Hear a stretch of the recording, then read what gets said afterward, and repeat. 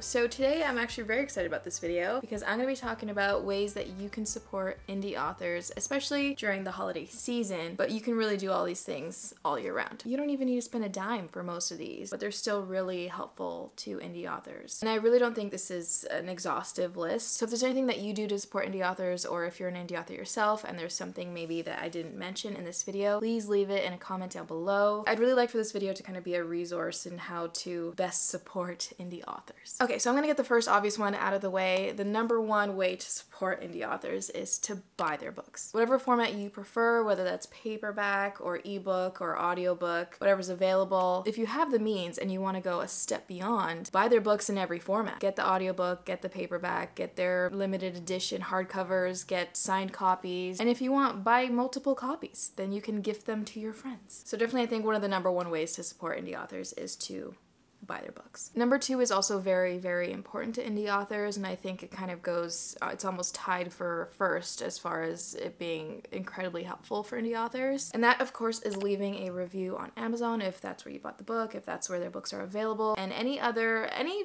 retail website that their book is available on, I think would be a really good thing to do to just leave a rating and a review. Also, rating and reviewing it on Goodreads. Number three would be to suggest it to a friend or lend it to a friend, especially somebody that you know would really like it. Even if it wasn't really the book for you, because let's be honest, even though, you know, you can really like the author and they could be your best friend, you don't have to like their books. Not every book you read is gonna be life changing for you. It's not gonna be really your jam, your thing, and that's fine, but more likely than not, you have somebody in your life who that book might be really interesting to or a perfect fit for. So definitely recommend it and suggest it to friends who you think might enjoy the book. One little bonus thing is if you did buy a physical copy of the book and you didn't really end up enjoying it and you're willing to part with it, I think it'd be really cool to put it in a little free library. Somewhere maybe in your neighborhood where someone else can stumble upon it and then possibly fall in love with it. Number four, if you have any sort of social media platforms, which I feel like if you're watching this, you likely have a few, like TikTok or Instagram or Facebook or Twitter, YouTube or a blog, consider sharing the book on your platforms, especially if you have like lines from the book that you really liked or if you really like the cover, anything at all, whatever you want to share about the book. If you want to do a reading vlog or a blog post review, share that on any of your platforms and I guarantee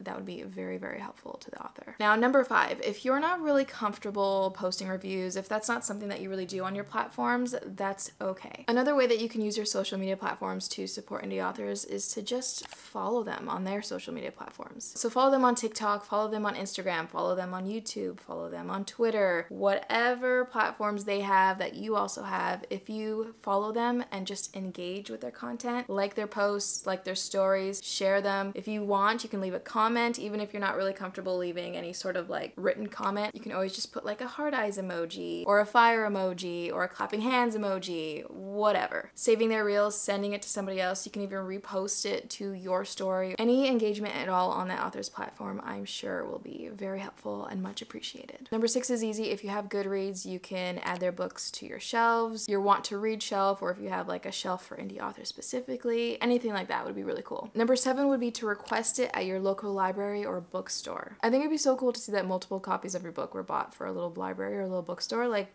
Come on. I would love that. Now, number eight actually technically kind of fits into number five as well, but I'm just leaving it as its own thing. If the indie author that you're trying to support has a website or a newsletter, then definitely subscribe to it. That way you'll be able to keep up with what they're doing. You'll get kind of exclusive behind the scenes access. You might get early sneak peeks at things. It's very exciting. One thing I need to do definitely is go through all of my indie author friends and just indie authors that I want to support and make sure that I'm signed up to their newsletters. Now, like I said, this list is not at all exhaustive exhaustive. I'm sure I've missed other little ways that you can support indie authors. So if I have, please leave them down below in the comments because I would love to know. Also, if you could please, please, please shout out your favorite indie authors, as many as you want. I just want the comments of this video to be filled with a bunch of indie authors and how we can best support them. Like, isn't that, that's all I want. That's my dream. And if you're an indie author yourself, please don't be afraid to give yourself a shout out. Comment down below, let me know the titles of your books, where we can find them, the genre, whatever, what you're working on now,